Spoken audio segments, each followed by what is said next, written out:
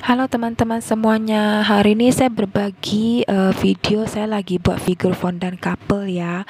Ini uh, couple-nya kelihatannya gampang, tapi ternyata makan waktu juga waktu saya buat karena setiap detail-detailnya itu perlu dengan uh, teliti. Kayak ini saya lagi buat kakinya, kakinya harus sama halus dan sama panjang.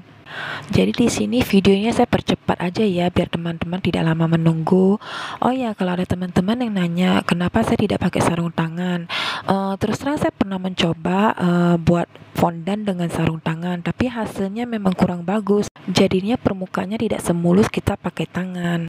Dan semua bakers yang buat fondant pasti semuanya sebelumnya cuci tangan dulu kok dengan sabun.